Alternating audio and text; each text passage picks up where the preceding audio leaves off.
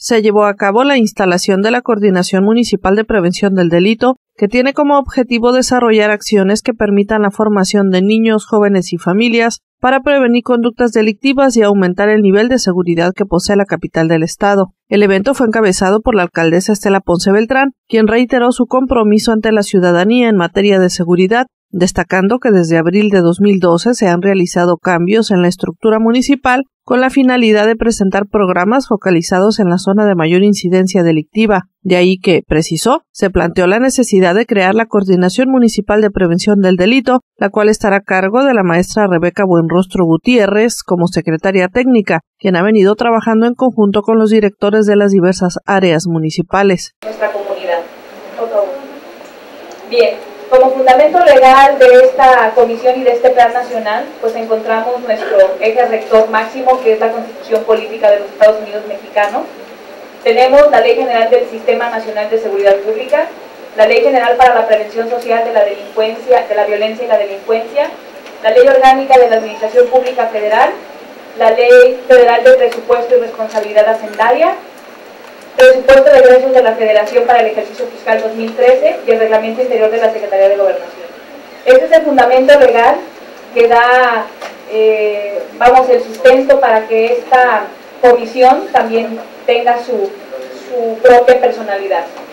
Eh, como bien lo comentaron, el 15 de febrero del 2013 se emitió el acuerdo por el cual se determinan los lineamientos para el otorgamiento de apoyos a las entidades federativas en el marco Nacional de Prevención del Delito.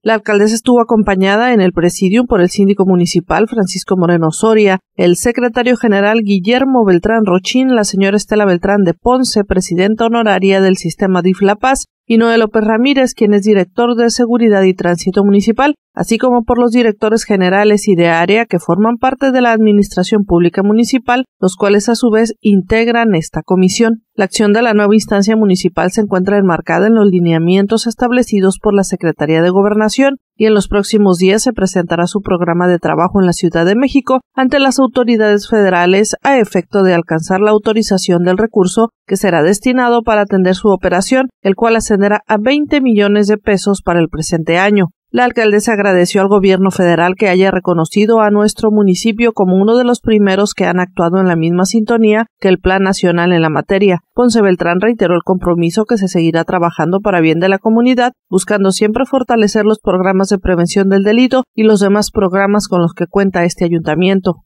Tenemos una gran responsabilidad una oportunidad de seguir trabajando para ello. Por eso es que los invitamos a esta reunión en la que Queremos darle la formalidad, como nos ha instruido el gobierno federal, para seguir los caminos, para obtener esos recursos económicos que se han designado por el municipio de La Paz, que fue una negociación de 20 millones de pesos para trabajar este año sobre los programas que ya tienen nuestras áreas